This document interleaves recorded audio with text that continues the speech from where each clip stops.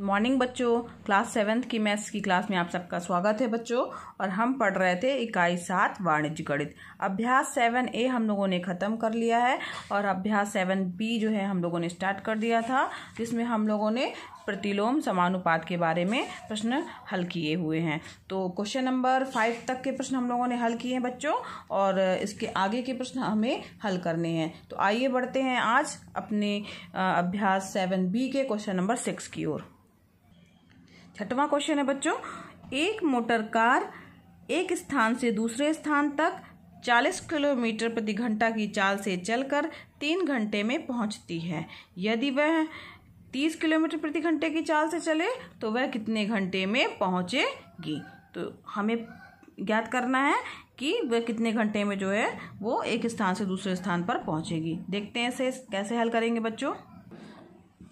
जो बच्चों हमें ज्ञात करना है प्रश्न में, उसे हम सबसे पहले मान लेंगे यक्स। तो इसमें प्रश्न में पूछा गया है कि वह कितने घंटे में पहुंचेगी? तो माना कार जो है वो यक्स घंटे में पहुंचेगी। तो सबसे पहले लिखिए, माना कार यक्स घंटे में एक स्थान से दूसरे स्थान पर पहुंचेगी। ठीक है? अब प्रश्न में बच्चों, दो चीज़ें हमारे पास दी हुई हैं, चाल दिया है और समय दिया है। तो हमें ये लिखना है, चाल हो गया, ठीक है? ये किलोमीटर, प्रति घंटा दिया हुआ है चाल, और यहाँ पर समय दिया हुआ है, ठीक? समय, जो कि घंटे में दिया हुआ है। समझ में आ रहा है ना? अब चाल यहाँ पर सबसे पहले दिया हुआ है कि अगर 40 किलोमीटर प्रति घंटे की चाल से चल करके तीन घंटे में पहुँचती है। तो यहाँ पर चाल कितनी है? 40 किलोमीटर। समय से कितना लग रहा है? तीन घंटा लग रहा है। और साथ ही साथ बच्चों, इसके बाद फिर पूछा गया है कि अगर वह तीस किलोमीटर प्रति घंटे की चाल से चलती है तो उसमें हमने मान लिया है यक्स घंटे में एक स्थान से दूसरे घंटे पर पहुँचेगी। तो यक्स घंटे पर पहुँचेगी। हमने ये मान लिया है। अब हमें क्या करना है बच्चों? ये ऊपर से नीचे की ओर, नीचे से ऊपर की ओर। क्यों? क्योंकि ये प्रतिलोम समानुपात है। अब इसके लिए लिखने का तरीका क्या होगा बच्चों? चालीस, अनुपाते तीस, ऊपर से नीचे की ओर लिख रहे हैं, फिर समानुपात का चिन्ह लगेगा, फिर नीचे से ऊपर की ओर, यानी यक्स अनुपाते ती। ठीक है, समझ में आ गया? अब इसको जब हल करेंगे तो बाह पदों का गुणनफल हो गया, मध्य पदों के गुणनफल के बराबर होगा। तो क्या हो जाएगा? चालीस गुणे ये थ्री, चालीस का गुणा तीन से होगा। चालीस गुणे थ्री इक्वल टू तीस गुणे यक्स। ठीक है? अब चालीस गुणे तीस तीन कितना हो जाएगा? तो एक्स बराबर पहले लिख लेते हैं। चालीस गुणे तीन बटे तीस। ठीक है? यक्स को इधर ही रखा है तीस को इधर नीचे लेके आए हैं। ठीक? अब यहाँ से कट जाएगा। तीन कम तीन तीन दहाम तीस, दस से ज़ीरो कट गया, बचा हमारे पास में क्या आ गया? चार। तो चार घंटे यक्स क्या हमने माना था? कि माना कार यक्स घंटे में जो है एक स्थान से दूसरे स्थान पर पहुंचेगी। तो यक्स बराबर चार घंटे हो जाएगा। समय पूछा था ना? समय हमें ज्ञात करना था। तो उत्तर आप अलग से लिख दीजिएगा। अतः कार जो है वो चार घंटे में एक स्थान से दूसरे स्थान पर से दूसरे स्थान पर पहुंचेगी। पर पहुंचेगी। ठीक है? ये आपका उत्तर हो गया, समझ में आ गया होगा आपको। आइए बढ़ते हैं क्वेश्चन नंबर सेवन की ओर।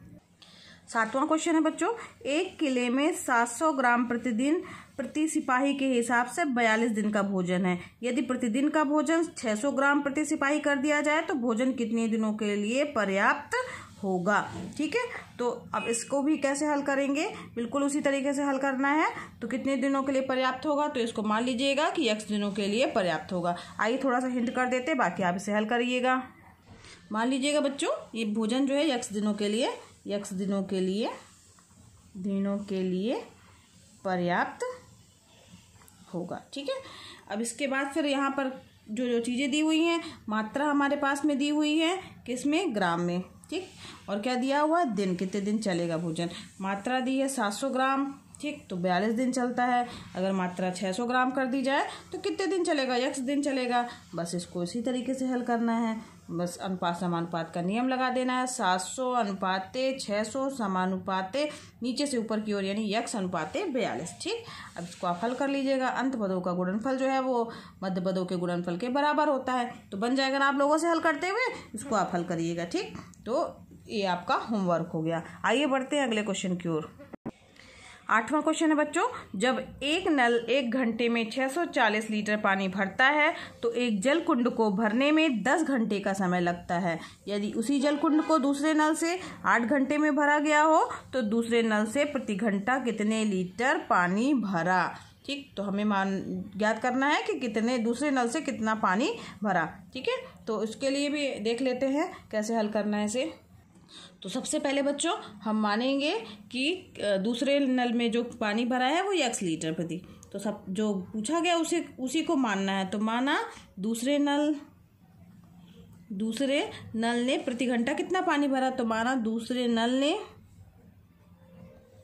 यक्स लीटर प्रति घंटा पानी भरा। ठीक है, जो प्रश्न पूछा गया है लास्ट में क्वेश्चन किया गया, उसी को यक्स मानना है।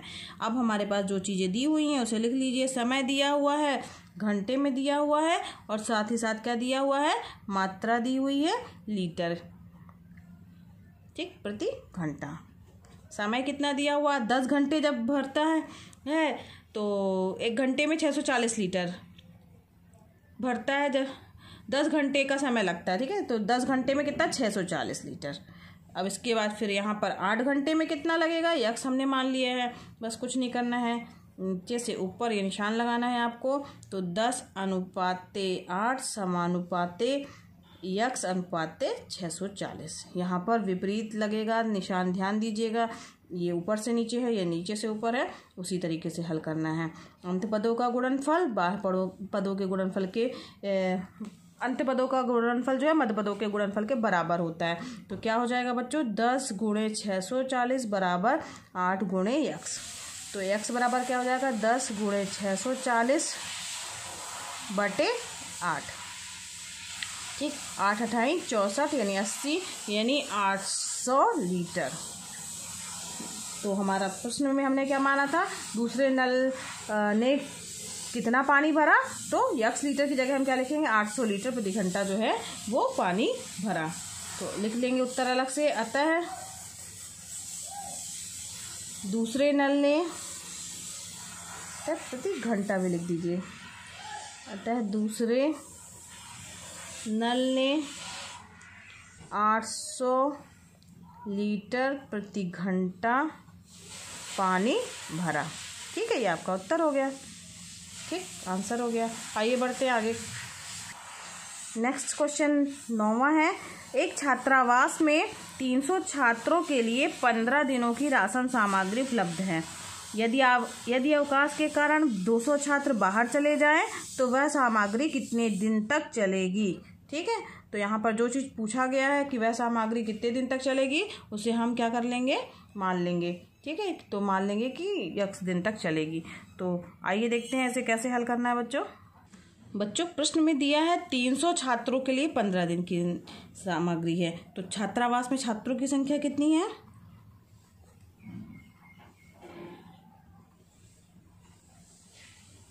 छात्रों की संख्या, ठीक है। पहले कितनी दी हुई है? तीन सौ दी हुई। फिर प्रश्न कह रहा है, यदि अवकाश के कारण 200 छात्र बाहर चले जाए, ना? तो अवकाश के कारण, अवकाश के कारण बाहर जाने वाले छात्रों की संख्या कितनी है बच्चों? दो सौ। ठीक है, प्रश्न में ही दिया हुआ है, अवकाश के कारण बाहर जाने वाले छात्रों की संख्या। फिर इसके बाद क्या कह रहा है? तो अब तीन सौ थे, दो सौ चले गए तो कितने बचे शेष?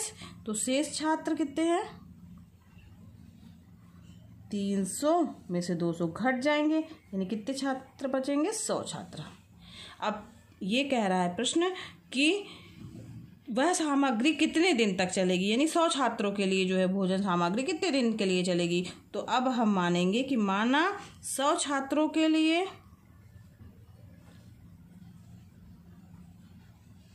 भोजन सामग्री यक्स दिन चलेगी। ठीक है? अब कुछ नहीं करना, बस जो चीज़ें दी हुई हैं, यहाँ पर छात्र संख्या दी हुई है और यहाँ पर कितने दिन चलेगी सामग्री? वो दिया हुआ है। तो यहाँ तीन सौ जब छात्र थे तो कितने दिन चलती थी? पंद्रह दिन चलती थी और प्रश्न के अनुसार। और इसके बाद जब सौ छात्र बचे हैं तो कितने दिन चलनी वो हमें ज्ञात करना है। चूँकि अपोजिट है तो इसके बाद फिर तिर का निशान उल्टा लगेगा। अब तीन सौ अनुपाते सौ समानुपाते क्या हो जाएगा बच्चों? यक्स अनुपाते पंद्रह। तो अब ये कर देना है आपको। ये तो अब आपको याद ही हो गया होगा कि जो अंतिम पद है, उनका गुणनफल जो है, मध्य पदों के गुणनफल के बराबर होता है। तो क्या आ जाएगा बच्चों यहाँ पर? तीन सौ गुणे पंद्रह बराबर सौ गुणे यक्स। तो यक्स बराबर क्या हो जाएगा? सौ गुणे पंद्रह बटे सौ। ठीक है? ज़ीरो ज़ीरो कैंसिल हो गया। पंद्रह थी पैंतालीस, यानी पैंतालीस दिन चलेगी सामग्री। ठीक है? तो अतः उत्तर आप अलग से लिख दीजिएगा। ये उत्तर है हमारा। अतः सौ छात्रों के लिए भोजन सामग्री पैंतालीस दिन चलेगी। ठीक है, ये हो गया उत्तर हमारा। समझ में भी आ गया होगा बच्चों आप लोगों को। आइए आगे बढ़ते हैं क्वेश्चन नंबर दस की ओर। दसवां क्वेश्चन है बच्चों चालीस किलोमीटर प्रति घंटा की चाल से एक टेंपो पाँच घंटे में एक यात्री को उसके नियत स्थान पर पहुँचा देती है। यदि उस टेंपो की चाल पच्चीस किलोमीटर प्रति घंटा होती तो वह उस यात्री को कितने घंटे में पहुंचाती? यानी चाल अगर कम होती तो उसका मतलब है उसे पहुँचने के लिए ज़्यादा घंटे लगेंगे। यानी इसमें प्रतिलोम समानुपात लगेगा। तो बस जो चीज़ याद करनी है, वो हमें यक्स मान लेना है। ठीक है? तो आइए देख लेते हैं इसका हिंट। जो प्रश्न में पूछा गया है, उसे हमें यक्ष मानना है। तो पूछा है, टेंपो यात्री को कितनी देर में पहुँचा देगी? कितने घंटे में पहुंचाएगी? तो मान लेंगे यक्ष तो माना टेंपो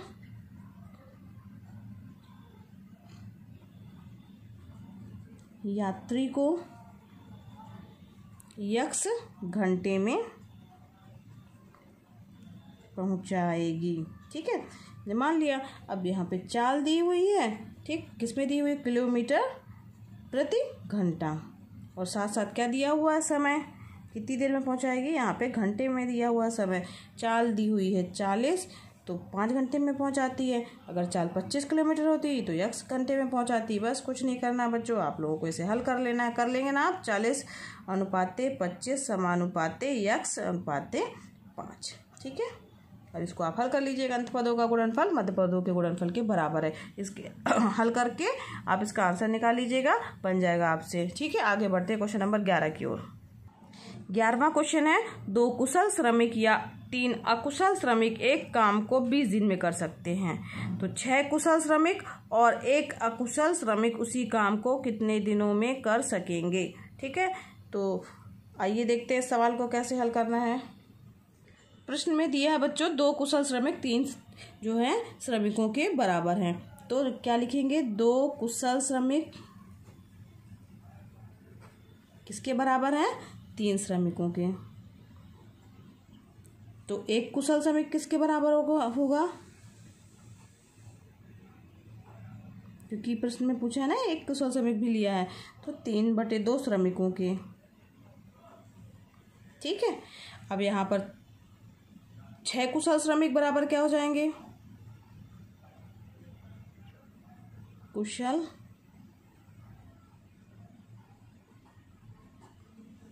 तीन बटे दो गुणे छः दो एकम दो दो तीन छः इक्वल टू नौ श्रमिक के बराबर हो जाएँगे। ठीक है? अब यहाँ पर प्रश्न में है कि छह कुशल श्रमिक और एक श्रमिक उसी काम को कितने दिन में करेंगे? तो प्रश्नानुसार प्रश्नानुसार, ठीक है? प्रश्नानुसार क्या कह रहा है? छह कुशल श्रमिक।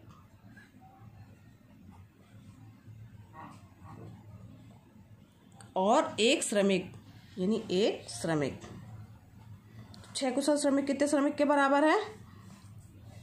कुल टू क्या हो जाएगा? नौ श्रमिक के बराबर है। और एक श्रमिक और जुड़ जाएगा, प्लस वन श्रमिक। ठीक है?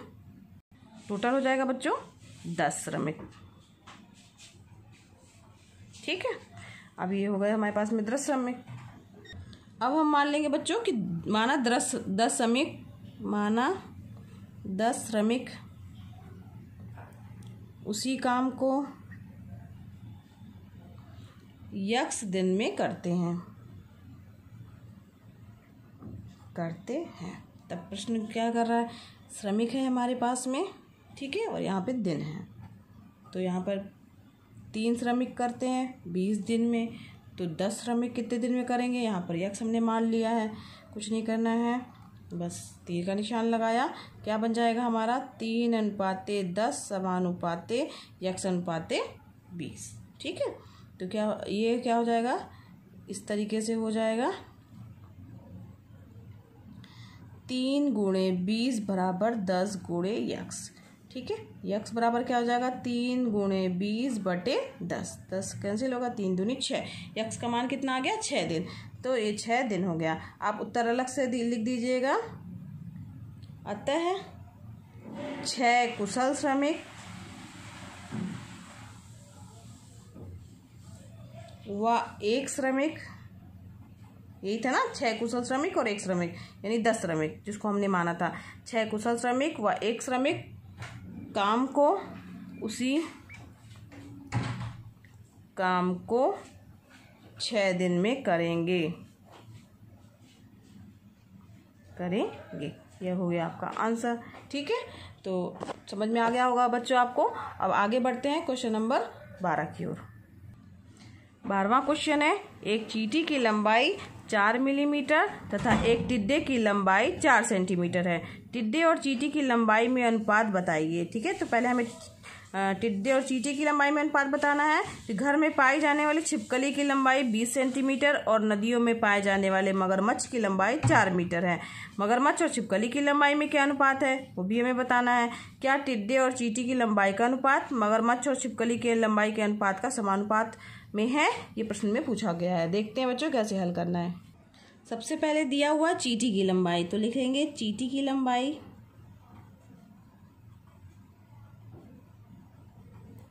इक्वल टू चार मिलीमीटर। ठीक है? इसके बाद दिया टिड्डे की लंबाई। टिड्डे की लंबाई कितनी दी हुई है? चार सेंटीमीटर। क्योंकि एक सेंटीमीटर बराबर होता है दस मिलीमीटर तो चार सेंटीमीटर बराबर कितना हो जाएगा? चालीस मिलीमीटर। ठीक है, यहाँ पे चाहे तो आप लिख दीजिएगा, एक सेंटीमीटर बराबर दस मिलीमीटर। ठीक है तो चार सेंटीमीटर और चालीस मिलीमीटर के बराबर हो गया। अब प्रश्न में कह रहा है कि टिड्डे और चीटी की लंबाई का अनुपात, ना? तो टिड्डे और चींटी की लंबाई का अनुपात कितना हो जाएगा? चालीस अनुपाते चार। चालीस अनुपाते चार। ठीक, चालीस अनुपाते चार चार से कट जाएगा, चार एक कम चार चार दाम चालीस तो दस अनुपाते एक हो गया। समझ में आया? तो ये हुई टिड्डी चीटी और टिड्डे की बात। अब इसके बाद कह रहा है छिपकली की, छिपकली और मगरमच्छ की बात अब हम करते हैं। तो प्रश्न में छिपकली और मगरमच्छ की भी बात की गई है। आइए देख लेते हैं। तो क्या दिया हुआ है? छिपकली की लंबाई बीस सेंटीमीटर। छिपकली की लंबाई टू बीस सेंटीमीटर। ठीक है? मगरमच्छ की कितनी दी हुई है? मगरमच्छ की लंबाई।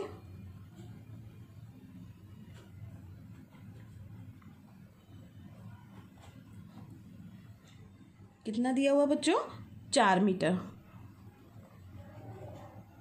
ठीक, अब एक मीटर में कितने सेंटीमीटर होते हैं? एक मीटर बराबर सौ सेंटीमीटर होता है। तो चार मीटर बराबर कितने हो जाएँगे? चार सौ सेंटीमीटर।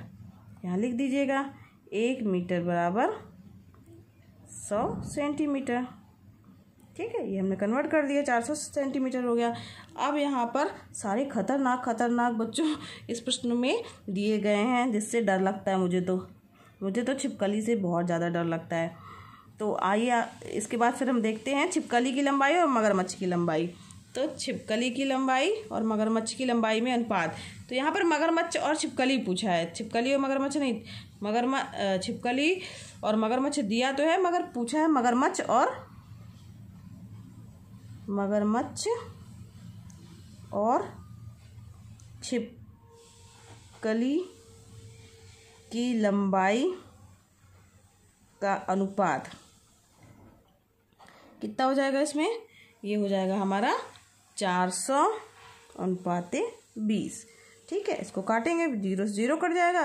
और यहाँ पर कितना जाएगा? बीस अनुपात एक आ जाएगा। तो साथ ही साथ प्रश्न में पूछा गया है कि क्या टिड्डे और चीटे की लंबाई का अनुपात और चीटी की लंबाई का अनुपात और मगरमच्छ और छिपकली की लंबाई का अनुपात समानुपात में है? तो यहाँ पर ध्यान दीजिए बच्चों, यहाँ पर दस अनुपात एक आया है, यहाँ पर बीस अनुपात एक आया है, यानी ये समानुपात में नहीं है। तो लिख दीजिएगा। अतः चींटी व टिड्डे की लंबाई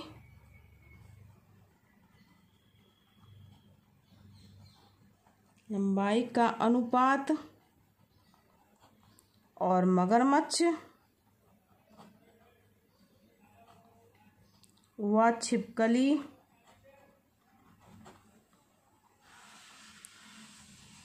की लंबाई का अनुपात समानुपात में नहीं है। में नहीं है, समझ में आया ना? क्यों नहीं? है यहाँ दस अनुपात एक आया बच्चों, यहाँ पर बीस अनुपात एक आया। इसलिए ये क्या है? इनकी लंबाई का अनुपात जो है वो समानुपात में नहीं है। ठीक है बच्चों? तो तो बच्चों, यहीं पर अपनी प्रश्नावली, ये सेवन बी जो है, आज ख़त्म हुई और कल हम पढ़ेंगे आगे की प्रश्नावली जो है, वो सेवन सी की ओर बढ़ेंगे। और आज के लिए इतना ही बच्चों। अगर आपको मेरा वीडियो पसंद आया हो तो इसे लाइक कीजिए, दूसरे बच्चों को शेयर कीजिए और साथ ही साथ मेरे चैनल को सब्सक्राइब भी कर दीजिए, ताकि आपको नए वीडियोज़ मिलते रहें। धन्यवाद बच्चों।